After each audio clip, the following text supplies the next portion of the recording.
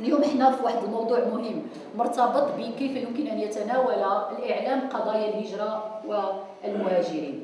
أكيد على أننا كصحفيين ممارسين وكمراسلين صحفيين وكطلبة صحفيين مقبلين على ممارسة مهنة الصحافة مستقبلا لا يمكن أن آه، نباشر العمل آه، في المهني دون أن ندرك على أنه مهنة الصحافة لا آه، لا يمكن ممارستها دون احترام مجموعة من القواعد الكبرى في الصياغة طبعا ولكن مجموعة من القواعد الكبرى أيضا في مضمون الصياغة ثانيا بمعنى أنه اليوم آه، تقاس مؤشرات ديمقراطية واحترام حقوق الإنسان واحترام حرية التعبير واحترام حقوق الأقليات واحترام حقوق النساء واحترام حقوق المهاجرين واحترام الفئات الهشة. أيضا مما ينتجه الإعلام داخل رقعة ما داخل بلد ما في هذه المواضيع. تناول قضايا الهجرة اليوم في بلادنا من طرف الزملاء والزميلات الصحفيين نحتاج إلى الكثير من التدقيق ومن ومن إدراك الإدراك حقوق المهاجرين والمهاجرات ومن إدراك القضايا المرتبطة بالهجرة منها قضايا اللجوء ومنها منها أساسا قضايا اللجوء لأن المهاجرين الشرعيين مختلفين عن المهاجرين الغير شرعيين مختلفين قضايا مختلفة أيضا عن المهاجرين الذين يطلبون اللجوء. كيف يمكن أن نتناول هذه القضايا؟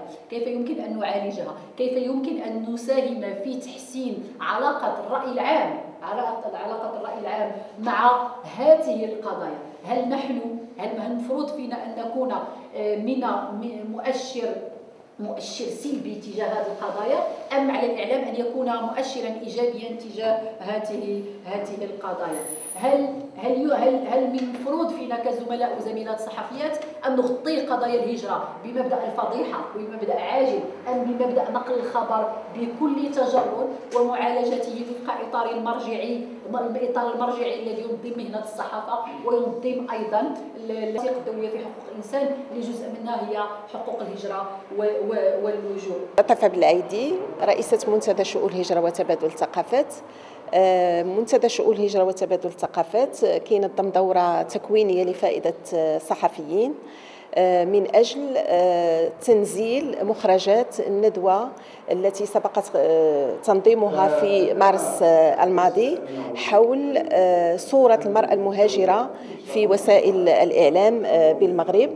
وبالفعل كانت دورة تكوينية ناجحة أطرتها كل من الأخت حنان رحاب والأستاذ طلحة جبريل على اعتبار أن هذا الموضوع هو موضوع جد مهم وله راهنيته. المغرب قطع أشواط كبيرة في ملف الهجرة. آه، وبالتالي يجب أن تكون هناك مواكبة إعلامية لموضوع الهجرة والمهاجرين وتغيير الأوصاف النمطية والأساليب آه، التي آه، تعالج بها إعلاميا هذه الظاهرة. وبالتالي كانت هذه مساهمة للمنتدى في خلق نقاش حول موضوع التعاطي الإعلامي للهجرة والمهاجرين من طرف الإعلام المغربي. سعدت جدا بأن ألتقي هذه المجموعة الشابة في هذه الدورة التكوينية وحارست بأن أتكلم ليس فقط بالعقل ولكن أيضا بالقلب يعني كلام صادق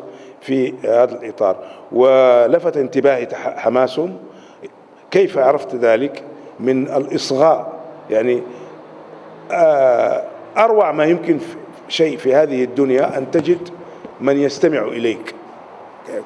فالاستماع في حد ذاته نوع من التكريم.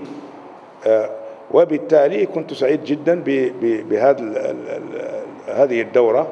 آه، بطبيعة الحال حرصت أن أتكلم كمهني عن الموضوع أي موضوع الهجرة.